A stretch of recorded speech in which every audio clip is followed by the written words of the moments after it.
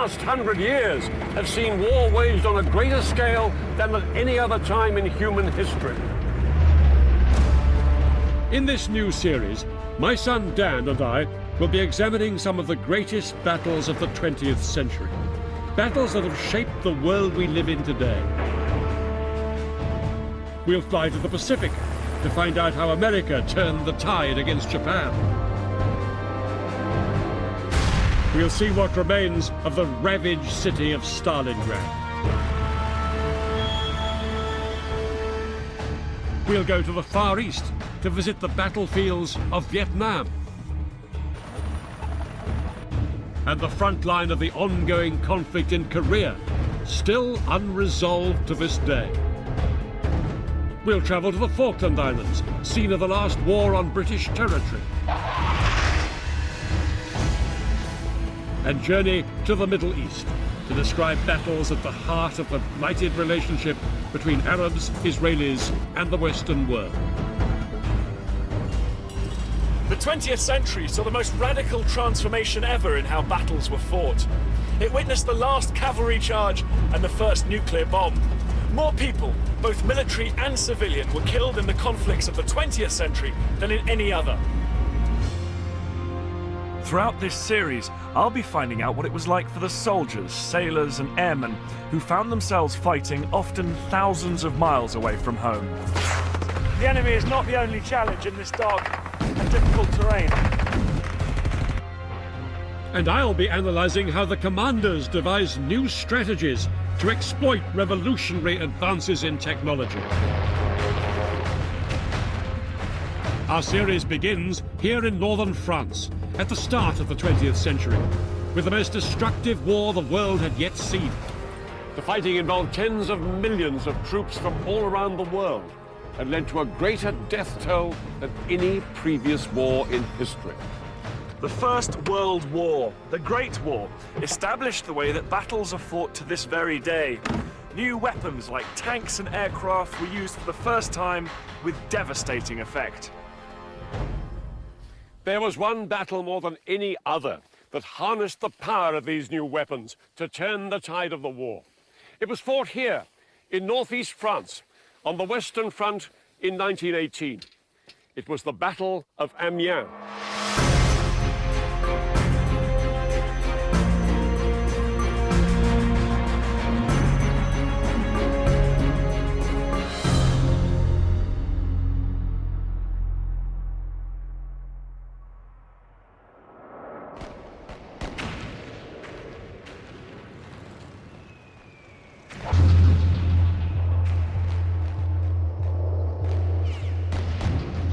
By the beginning of 1918, Europe's superpowers had fought each other to a standstill on the killing grounds of northern France and Belgium.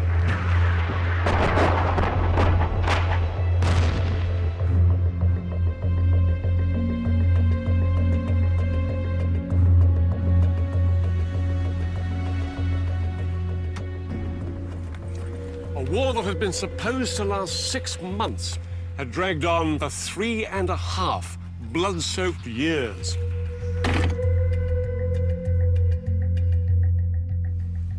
When the First World War began, nobody had expected the conflict would turn out the way it did. Germany and her coalition partners, Austro-Hungary, Bulgaria and Turkey, were fighting to secure dominance in Europe and the Middle East. In the east, they had driven deep into Russia and captured huge swathes of land. And in the west, they'd invaded first Belgium and then France, expecting a quick victory. The British Army, including men from Australia, Canada, and other countries of the Empire, had helped the French secure the rest of France, but they had failed to push the Germans out. By 1918, the Allies were still where they had been three years earlier, with the British holding the line closest to the Channel ports. The Great War had turned into a deadly stalemate. Battles like Passchendaele, Ypres, the Somme and Verdun, further down the Western Front, had resulted in a catastrophic loss of life on both sides, but the front line had hardly moved. To break this deadlock, there would have to be a startling change of strategy. Without it, it seemed the war would never end.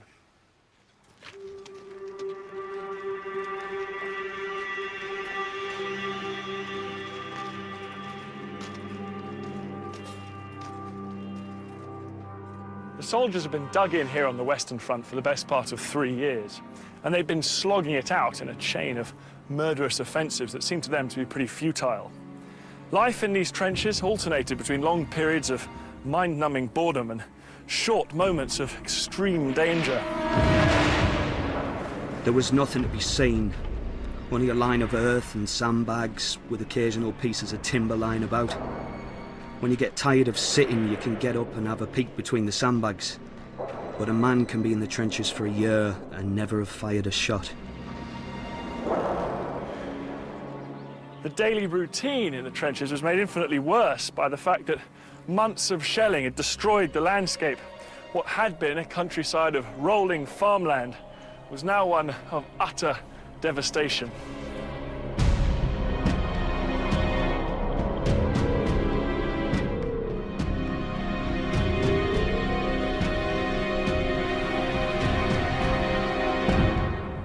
For the men living and fighting in these dreadful conditions, it must have often seemed like the war was going to go on forever. But thousands of miles away from these trenches, events were now taking place that would bring these men hope that the end of the war was finally in sight.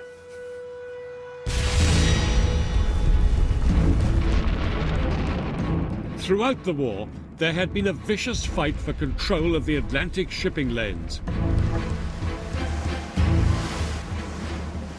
At first, German U-boats only aimed to sink British vessels.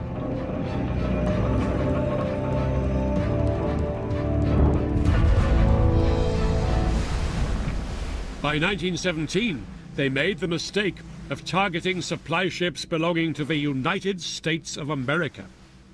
For America's President Woodrow Wilson, this was an outrage too far, forcing him to declare war on Germany. After three years of watching and waiting, America was now firmly in the fight.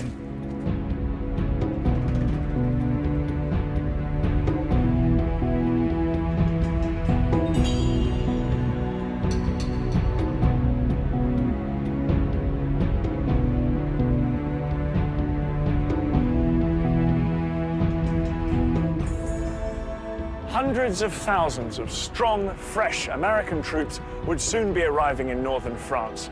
It was exactly what the exhausted Allied soldiers on the Western Front had been waiting for.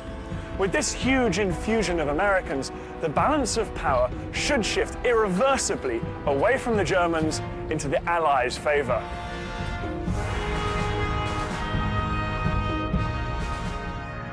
As we marched through the town, the sidewalks were full of people. We felt so proud and important that such a fuss was being made over us. The French girls would jump in the ranks and throw flowers at us. Of course, we were looking forward to the great adventure ahead of us. We were looking forward to the fight.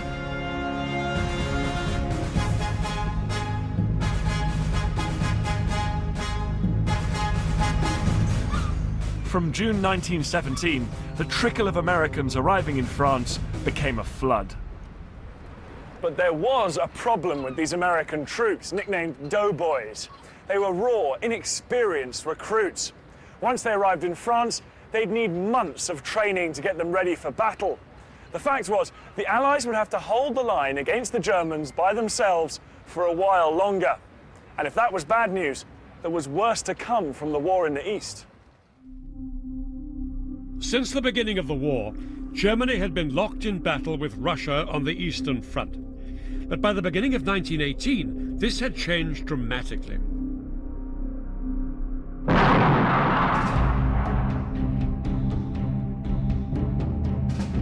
After seizing power in the Russian Revolution, communists made peace with Germany.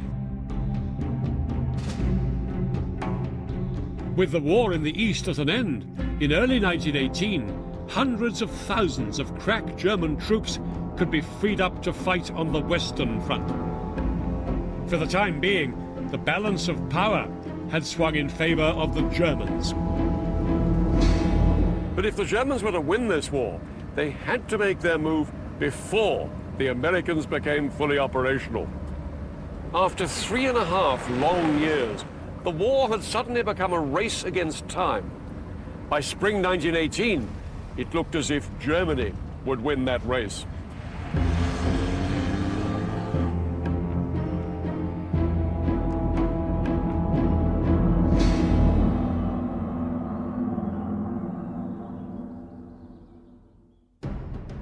Germany was counting on one man to deliver victory, their chief strategist, Erich Ludendorff.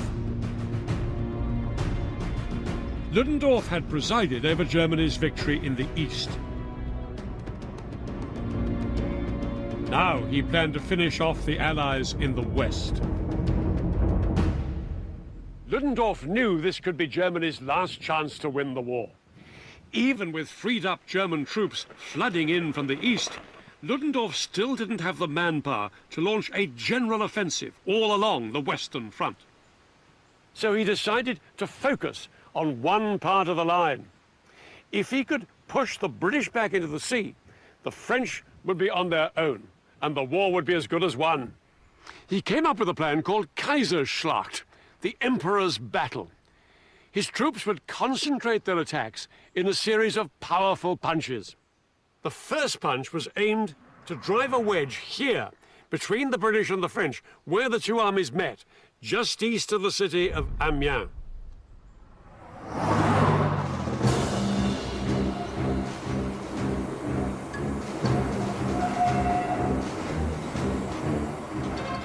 Amiens was the most important city on the Western Front, but it lay only 39 miles behind a part of the front that was poorly defended. It was a key transport hub, vital for getting supplies and reinforcements up to the Allied trenches.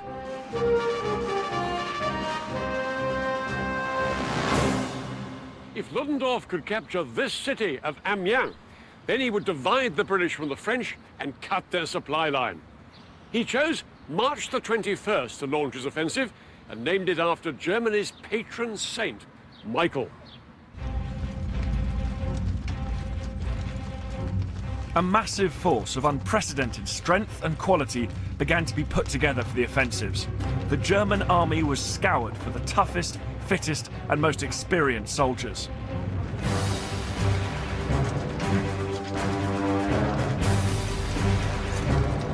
The weak and the old were transferred to the rear. Only the very best of all would be trained up as stormtroopers, specialist units of shock troops that would punch through the Allied lines. The men of the storm battalions were treated like football stars. They lived in comfortable quarters, they did their jobs and disappeared again, and left it to the poor foot sloggers to dig in. It wasn't just fresh troops Ludendorff was counting on. He intended to throw away the old rulebook on how to fight a battle. The front lines ran through these fields just here. This is where I'm standing, 40 miles east of Amiens. The German infantry were here, in a series of trenches skirting round the town of St. Quentin. Just a few hundred metres away across no man's land were the British infantry in their trenches. Their heavy guns further back, here and here. Usually an infantry attack was preceded by a long indiscriminate bombardment, lasting days if not weeks, to clear a path through enemy defences. The problem was that these long bombardments gave the enemy plenty of warning that an infantry attack was imminent. This time, Ludendorff planned a barrage of just five hours, but with more artillery guns than ever before. For the first two hours, a mixture of gas and high explosive shells would target the British artillery positions back here. Then they would fire on the British infantry positions further forward. The bombardment would keep the British hunkered down in their trenches. Exactly five hours after the bombardment started, the elite force of German stormtroopers would begin their advance. Ludendorff hoped that this artillery fire plan, coupled with the stormtroopers, would cause such mass confusion that the entire British front line would fall apart in just one day. In Ludendorff, the Germans had a strong commander with a clear battle plan. On the Allied side, there was no man in overall charge. The British were led by Field Marshal Douglas Haig. He rarely saw eye to eye with the French Chief of Staff, General Ferdinand Foch. And now there was also the American commander, General John Pershing. There was little sign of coordinated leadership between the Allied commanders, and March 1918 would present them with their greatest challenge so far.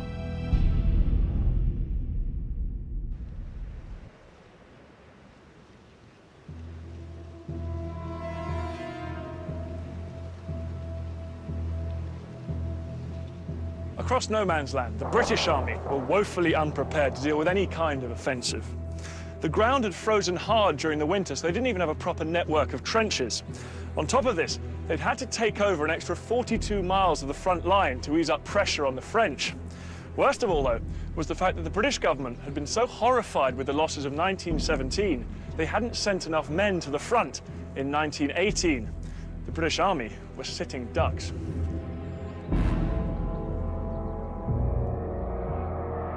We cannot tell what even the next moment has in store for us. But what will this same spot be when the Germans attack? Bloody inferno. It may happen at any moment. A sudden jump from stillness into hell.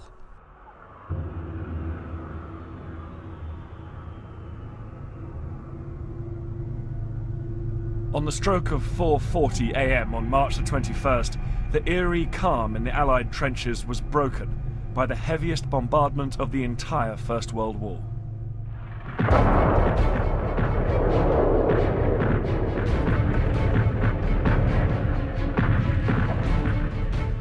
Six and a half thousand guns and three and a half thousand trench mortars fired virtually simultaneously along a 46 mile front in the greatest concentration of modern firepower to date. Into this brew of high explosive and razor sharp shrapnel was mixed a concoction of lethal gases which hung in the air for hours, burning the eyes of soldiers and horses.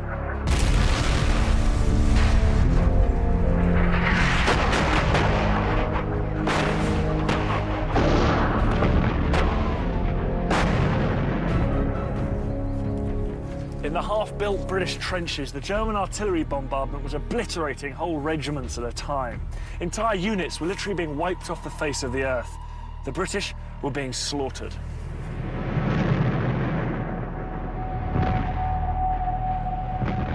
Such hell makes weaklings of the strongest, and no human's nerves or body were ever built to stand such torture, noise, horror, and mental pain.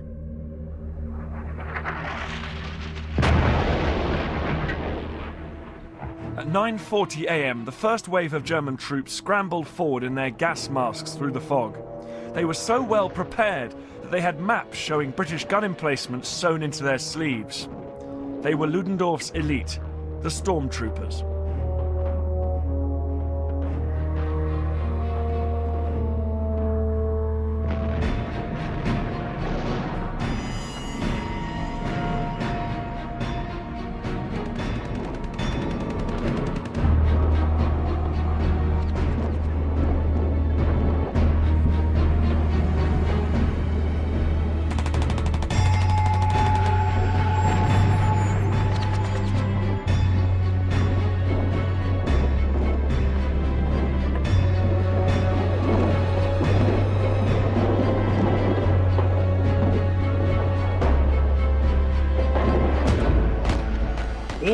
The stormtroopers forced their way through gaps in the Allied lines, which were already weakened by the artillery barrage. Armed with light machine guns, hand grenades, and flamethrowers, they swarmed forward. Whenever they came up against particularly stubborn resistance, they'd skirt around it, looking for weak points elsewhere and seeking out the more exposed artillery positions in the rear. The stormtroopers left the job of mopping up any remaining strongpoints to the main infantry force moving up behind.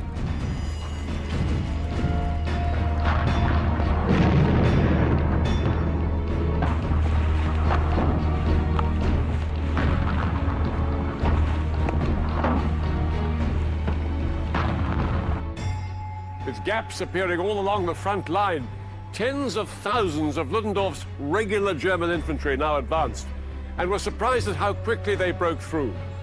The British had lost control of the situation. We crossed a battered tangle of wire without difficulty, and at a jump were over the front line. The English jumped out of their trenches and fled by battalions across the open. They stumbled over each other as they fled, and in a few seconds, the ground was strewn with dead. Only a few got away.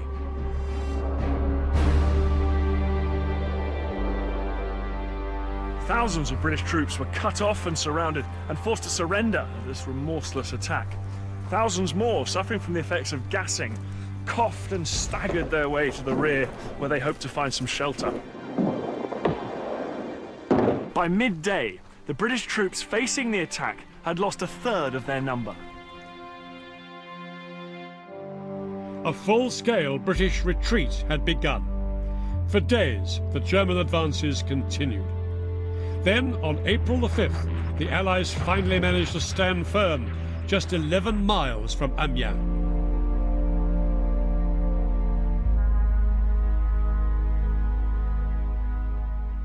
Ludendorff's first offensive had won a remarkable series of territorial gains for the Germans. That village is the furthest they got. Here it is, Villers-Bretonneux. They'd advanced 28 miles and made a massive dent in the British front line. But the British line had not broken. Over the next eight weeks, Ludendorff launched four more offensives. Here, here, here, and here. The last advance took them to within 37 miles of Paris. Each time the offensives fell short of that crucial breakthrough. Despite everything Ludendorff threw at them, the Allies were holding on.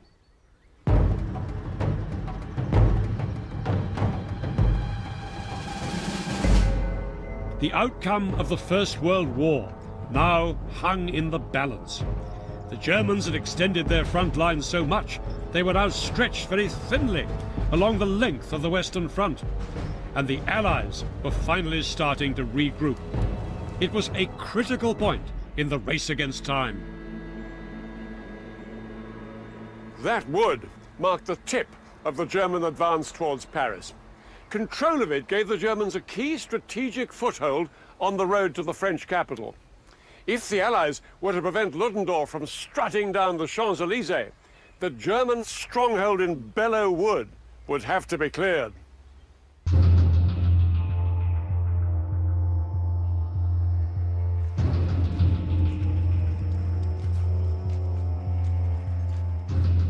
In the blazing heat of June the 6th, Allied troops prepared to start their advance on this wood. But these men weren't British or French. Instead, the task of clearing Belleau Wood had been given to the United States Marine Corps. For the first time in World War I, the Americans were going on the offensive. Even though it had been 14 months since the United States had declared war on Germany, this had not been long enough to master modern tactics. Now the US Marines prepared to retake Belleau Wood in the old-fashioned way, advancing line abreast.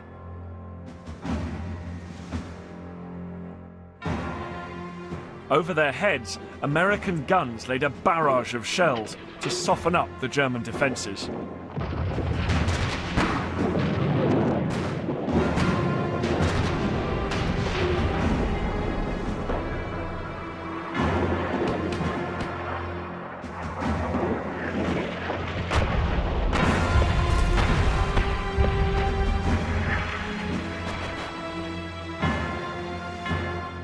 The advancing Marines were in for a nasty shock.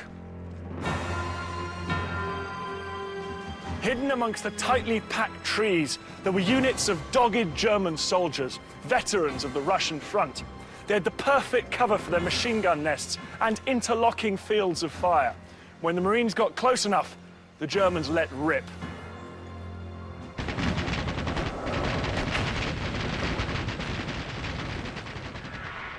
We hadn't gone 50 yards when they cut loose at us from the woods ahead. More machine guns than I had ever heard before. I have a vague recollection of urging the whole line on faster. We came to an open wheat field full of red poppies, and here we caught hell. Some of the Marines fought their way through the machine gun fire and managed to establish a small foothold in this forest, but it cost them terrible casualties. Elsewhere on the battlefield, one young American officer was told to retreat by some French troops that were pulling back. He famously said, Retreat? Hell, we just got here.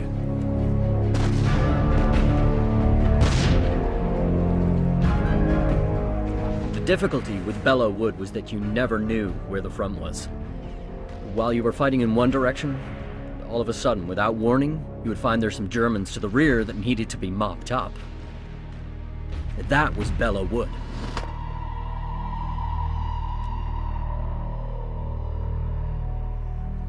Five times the Marines made headway, five times they were beaten back. But on the sixth attempt, the Marines finally prized Belleau Wood away from the German grip.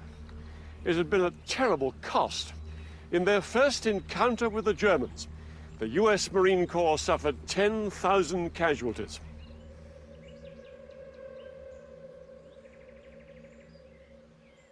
With the Allied victory at Belleau Wood, Ludendorff's path to Paris had been blocked.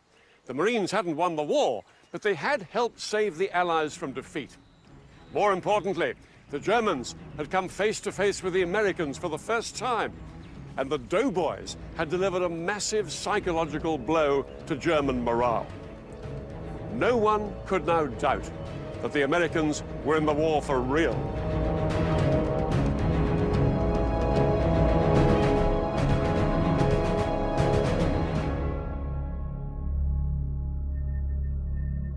Those in front of us are fair specimens of the average American troops, and if there are as many as they say there are, then goodbye for us.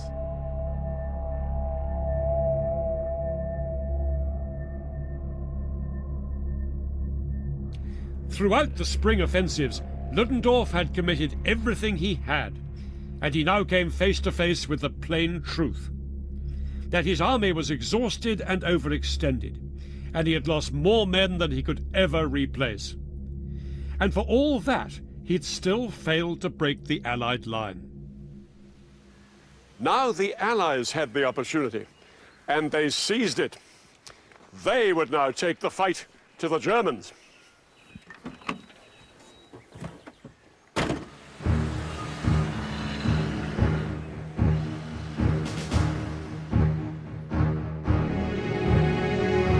Allied attempt to break through on the Western Front would be led by a British general, Sir Henry Rawlinson.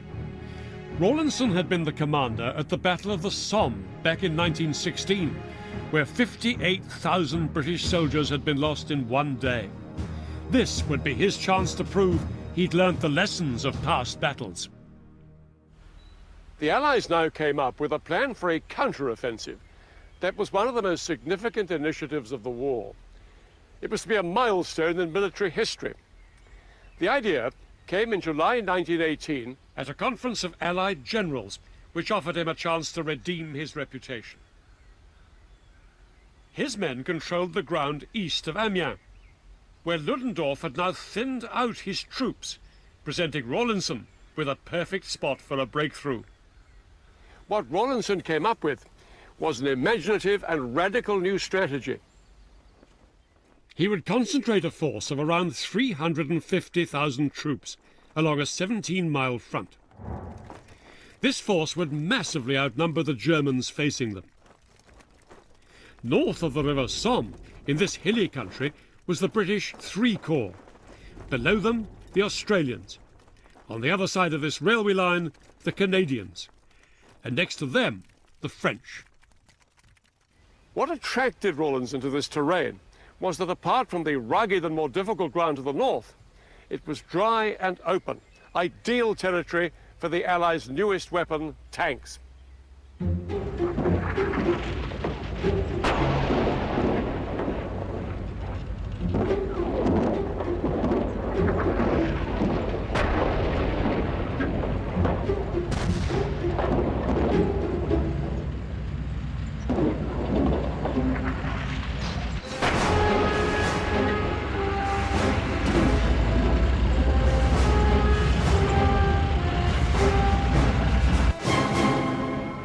Today, tanks and armoured vehicles are one of the most important weapon systems in a modern army. Back in 1918, troops regarded them with quite a lot of suspicion. They were prone to mechanical failure and they were slow. Their top speed was about four miles per hour, and this made them vulnerable to enemy artillery fire.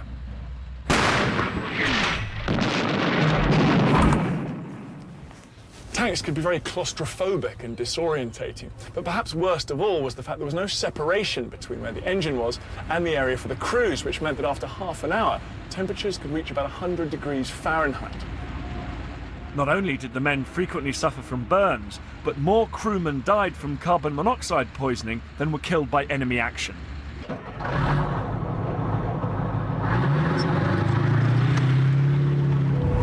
In fact, usually after just one day of battle, tank crews had to be sent to recover in a field hospital from the experience. But despite this, they did have their advantages. They were invulnerable to machine gun fire and they could crush barbed wire. Lastly, they put the fear of God into the Germans. The Germans had virtually no tanks, but now they were about to face the greatest concentration of tanks ever assembled on a battlefield. The tanks were only part of Rawlinson's grand design.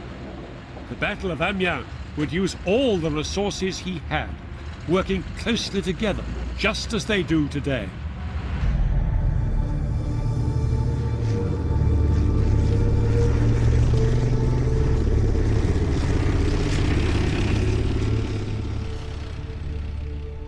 We've come to Salisbury Plain to watch a combined arms exercise, the modern day equivalent of what Rawlinson had in mind for the Battle of Amiens. One of the main roles of the tank, and I, and I don't think it's really changed, is actually to help uh, protect the infantry and deliver them onto the enemy position in good order. Uh, and that's something the tank does very well indeed. Both tanks and infantry are supported by the big guns of the artillery. Gunners back in 1918 didn't have computers or satellites to help them find the right range. Normally, before a battle, they would fire off test shots, but before the Battle of Amiens, they were ordered to use only maps and mathematics so as not to alert the Germans. Four, five, seven mil. a battery can can drop something like four and a half tons of explosives onto an area in a very short period of time. Um, so, you know, they, they're the people that give us a great shock effect on the enemy. Unlike 1918, today's infantry are carried into battle by armoured personnel carriers. But the carriers can only take them so far. In the final stage of an assault, there's no alternative but to get out and go in on foot. Air power is the final component of the all-arms attack. It's crucial that, uh, that all the, the different elements work together. Tanks on their own are very, very vul- vulnerable. Uh, likewise, the, the infantry and everything else. So it's crucial that the tanks, the engineers, the artillery, uh, and the air support all work together to, to, to destroy the enemy positions. So as Rawlinson approached the Battle of Amiens, he had a, a quite new system of weapon systems, tactics, and everything. It's all arms cooperation. That's right. And although the, uh, the, the weapons and the vehicles ha- have become much more technologically advanced over the years, the basic tactics that they used back in 1918 haven't really changed a great deal.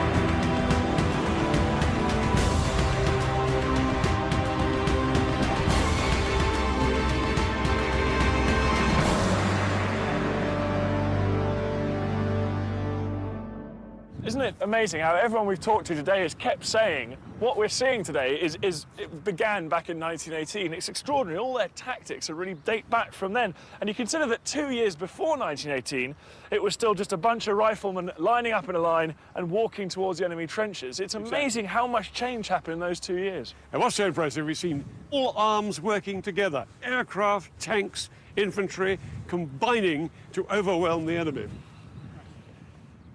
August 1918 would be the first time in history that all available weapons were coordinated on such a scale. To a meticulous timetable, the guns would create a curtain of fire that would move forward 100 metres every three minutes, wiping out many German defensive positions. Protected by the cover of fire, the Allied infantry would advance, and the closer they followed the barrage, the more likely they were to overcome their enemy.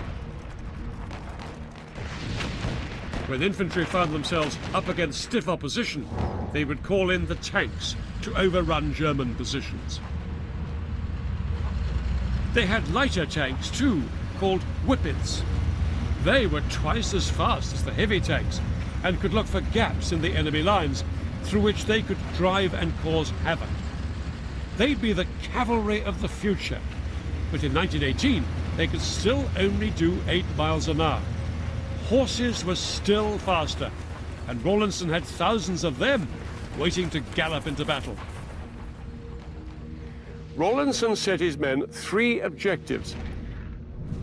First, he drew a green line on the map, two miles behind the first enemy line. He gave them two hours to reach it. There, they'd consolidate, and new forces would pass through them and fight their way through to the red line, which he marked three miles further on. And if by the end of the day they could then reach his blue line, they would have achieved an eight-mile advance altogether. It would be the biggest advance in one day's fighting of any Allied force on the Western Front since the war began.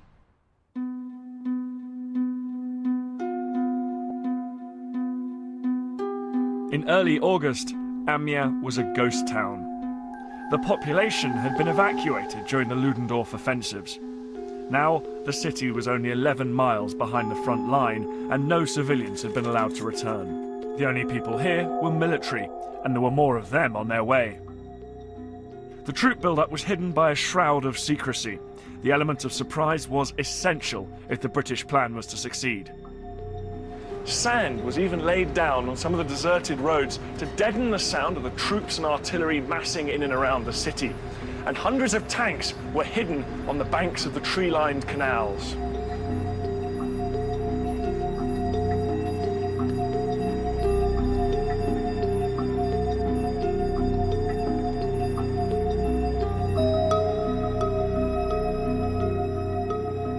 To make sure each soldier knew just how important it was to maintain secrecy, a small note was pasted into their pay books.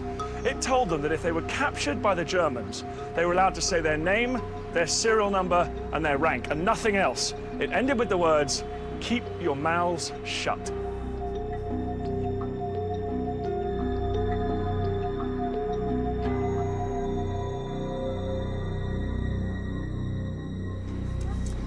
A few days before the battle began, reports reached German commanders that unusual noise had been heard outside Amiens, perhaps signifying an Allied build-up. But Ludendorff discounted these reports. There is nothing, he said, to justify this apprehension, as long as our troops are vigilant and do their duty. Rawlinson's obsessive secrecy was paying off.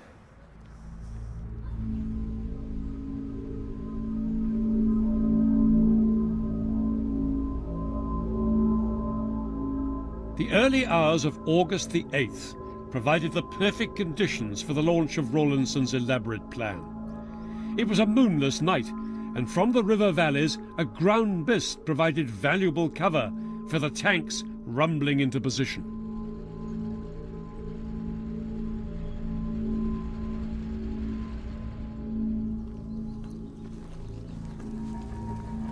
This countryside was an anthill of activity as tens of thousands of Allied troops moved towards the front line. The men were under strict instructions. There was to be no shouting, no flashlights, and no cigarettes. No unnecessary noise.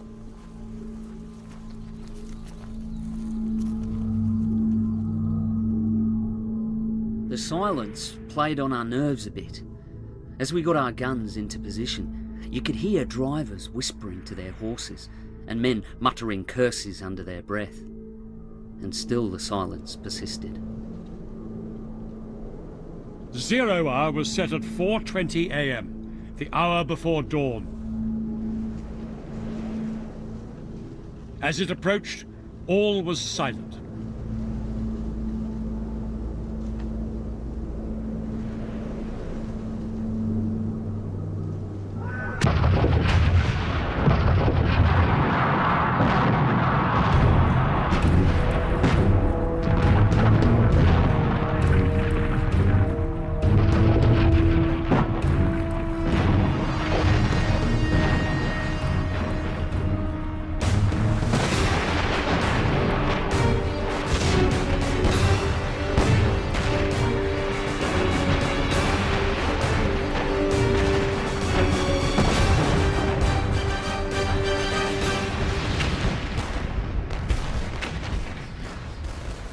Moment British guns had opened fire on German positions, the British infantry had started their attack.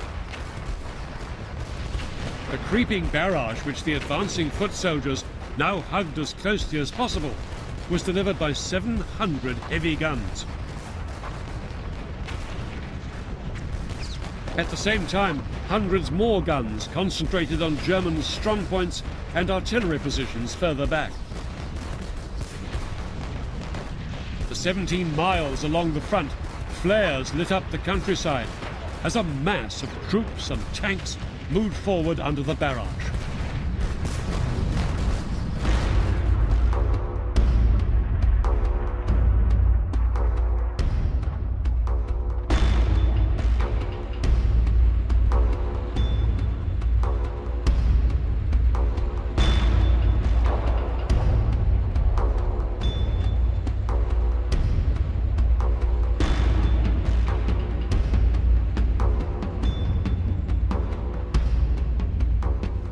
British, Canadian, and Australian infantry advanced, the early morning fog was so thick they could only see about 10 yards in front of them.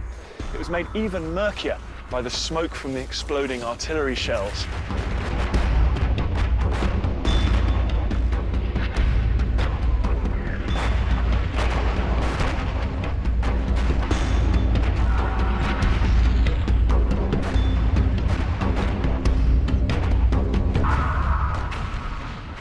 Traveling fast. The sweat was rolling down my face. The shells were bursting everywhere, some of them very low. Machine gun bullets also whistled over us from the left flank, where the advance had been held up for a while. Precisely as planned, the creeping barrage and the almost simultaneous infantry assault took the Germans totally by surprise. Some lead Allied units stormed into enemy trenches and bunkers and captured or killed the German defenders before they had any chance to organize a counterattack.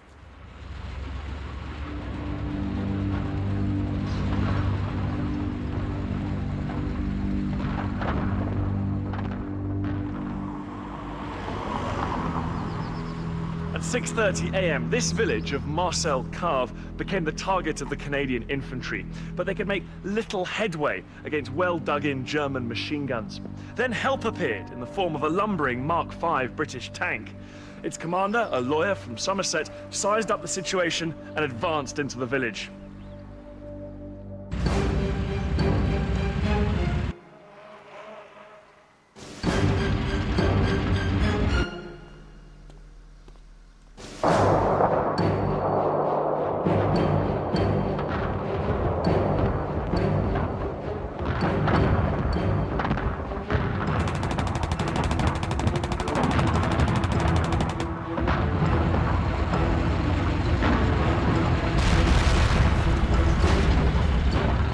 German positions were blasted away by the tank's six-pound guns. The rest were crushed under its tracks. It was all over in about half an hour, and the tank commander handed the village over to the Allied infantry, but not until, in typical lawyer-like fashion, he'd received a receipt. The village of Marcelcave was now officially in Allied hands.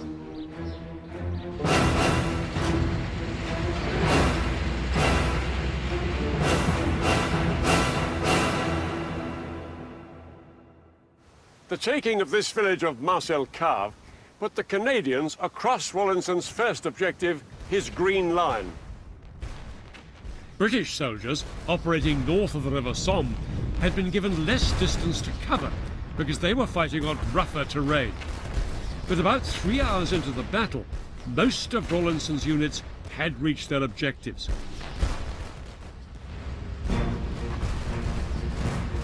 Now they could rest while new troops were pushed through to continue the attack.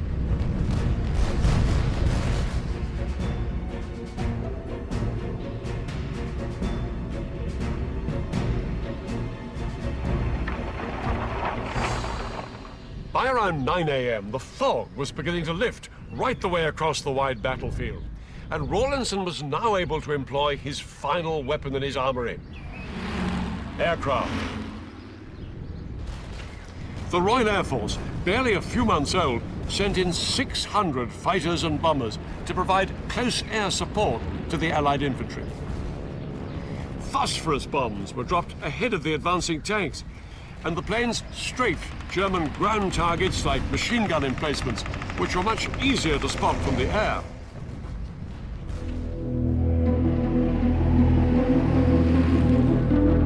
Low-flying planes ate away at German morale.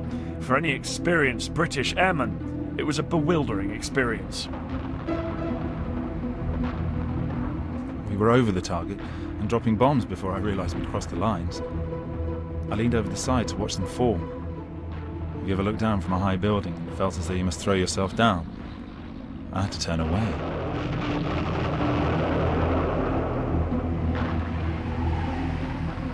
Gaps were now appearing in the German line, which the Canadian and Australian troops tried to exploit as quickly as possible. This led to one of the more bizarre sights of the day. A group of Canadian cyclists pedaled off down the road, their rifles slung across their shoulders. They were escorting a group of armor-plated cars carrying machine guns. The Allies were willing to try anything to increase their speed and mobility. The cyclists sped off down the road, looking for German positions. This mobility paid off when they came across the enemy-held village of Mézières. The cyclists rode through the back streets and overwhelmed a German machine gun post from behind. But in this area, north of the River Somme, the British ran into the most stubborn resistance of all. They were heading across here towards that high ground over there called Chipilly Ridge when they ran into concentrated fire that stopped them in their tracks.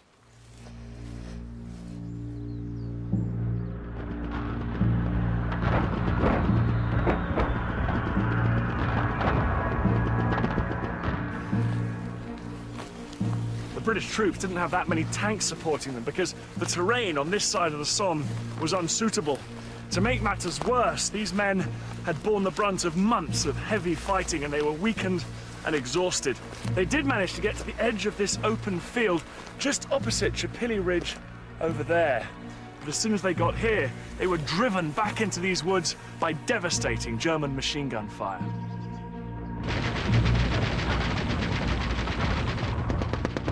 The British north of the Somme were pinned down in front of Chipilly Ridge. But to the south of the river, Rawlinson's plan was ahead of schedule. By late morning, most of his men had reached the second objective, the Red Line. They'd moved a remarkable five miles in half a day. Already, some of the light Whippet tanks had pressed on at a heady eight miles an hour, causing havoc behind enemy lines. The exploits of one of these tanks, nicknamed Musical Box, would pass into legend. For nine hours it ran wild, attacking German artillery from the rear, surprising resting German troops, and even ramming a truck into a stream. The Germans peppered the tank with bullets. They perforated fuel tanks stored on the roof, and soon petrol was flooding down inside the tank. The crew were forced to don gas masks as they pushed on, now ankle deep in petrol. Soon, a German shell hit the tank and it burst into flames.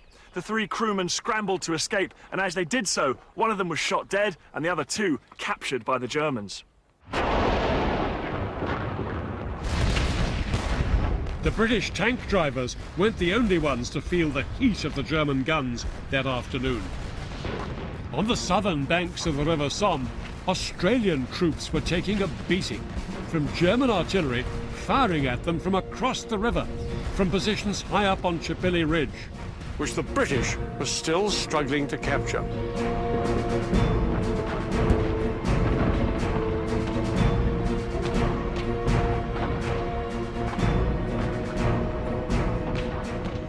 Hours after the British were supposed to have captured this vital sector of the north bank of the Somme, the area was still in German hands. Every time British troops tried to leave the shelter of this wood, they were cut down by German machine gun and artillery fire. The prospects for advancing any further looked grim, and it wasn't until the next day that Allied troops finally managed to secure the north bank of the Somme. But on this first day of battle, August the 8th, Rawlinson's units south of the River Somme were pushing deeper and faster into German held territory than ever before. To keep up the pace of his advance, Rawlinson ordered his horsemen to go into the front line. Two entire cavalry divisions, over 20,000 horsemen, now moved up to the front through the infantry to begin the attack on the final objective, the Blue Line.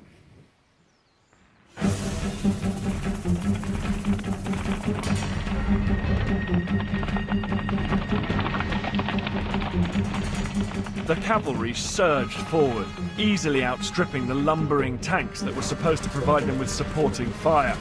But once the horsemen left the tanks behind, they found themselves at the mercy of German machine guns. One group of horsemen left this village of Beaucourt and ran into lethal fire from that wood over there. Men and horses crashed to the ground, the surviving horses stampeded. Even with this bloodshed, August the 8th would still be the British cavalry's most successful day of fighting on the Western Front during the entire war. The German line had been shattered, and for the first time in years, the cavalry could charge through the gaps. They galloped east, sowing chaos behind enemy lines and taking thousands of prisoners.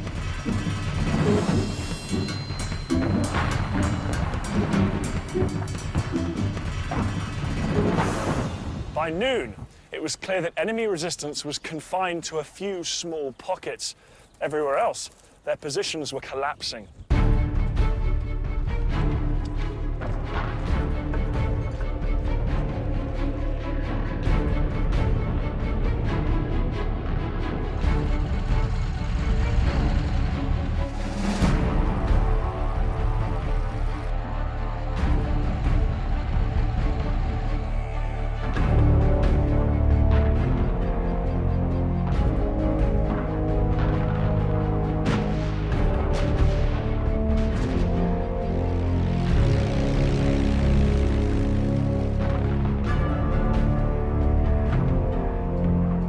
Allied soldiers found that the German troops were all too willing to surrender to them. In fact, one lone Australian was nearly overwhelmed when a hundred Germans tried to give themselves up. The once mighty German army was showing signs of falling apart.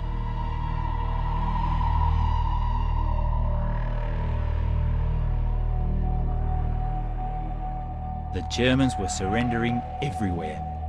You could feel the hair pricking up on your spine with excitement because we knew it was going to be the end of the war.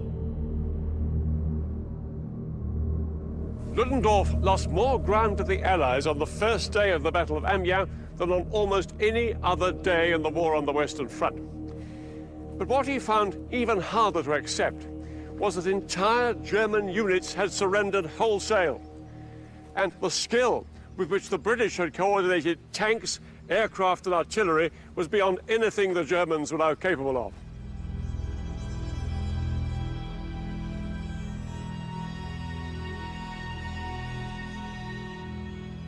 The morale and discipline of the German fighting machine had cracked. Ludendorff later called August the 8th the blackest day for the German army in this war. He had a nervous breakdown and told the Kaiser the war must be brought to an end.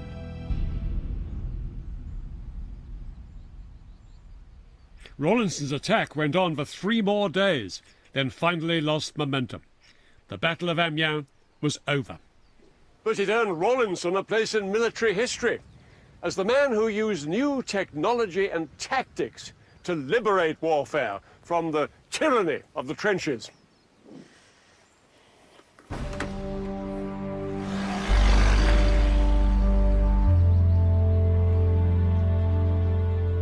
Those few days in August 1918 turned the tide of the First World War. After the Battle of Amiens, the British and French, refreshed by American troops, fought on for another three months, liberating more and more German-held territory. At the start of October 1918, the Germans finally asked America's President Woodrow Wilson for an armistice. Early in the morning of November the 7th, the Supreme Allied Commander, Marshal Foch, arrived here by train in the forest of Compiègne, outside Paris.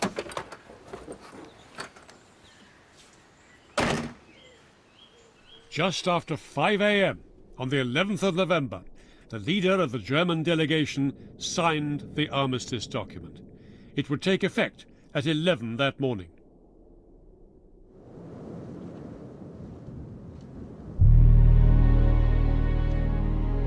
After more than four years of fighting and 15 million dead, the guns were now silent.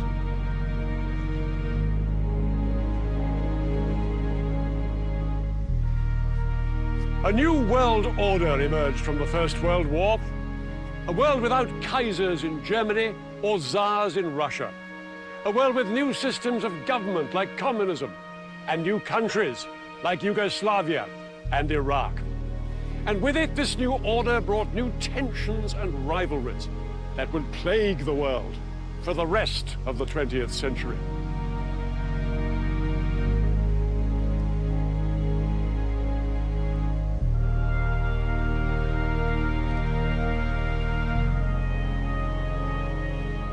But the darkest legacy of the First World War began in a military hospital where a corporal in the German army was recovering from the effects of being gassed by the British. He was seething with resentment at what he perceived as Germany's national humiliation. That resentment would simmer away until 20 years later it ignited a second great global conflict. That corporal's name was Adolf Hitler, and he would never forget the experience of 1918.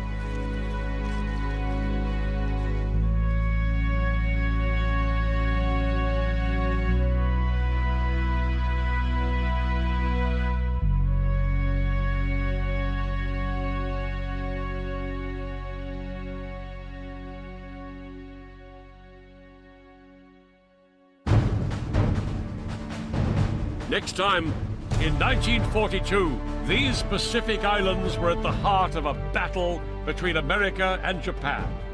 I'll be looking at how a new form of warfare at sea demanded split-second decisions from the commanders. And I'll be revealing the risks taken by servicemen and learning the skills they needed to survive. This titanic struggle took place over just one day. It was the Battle of Midway.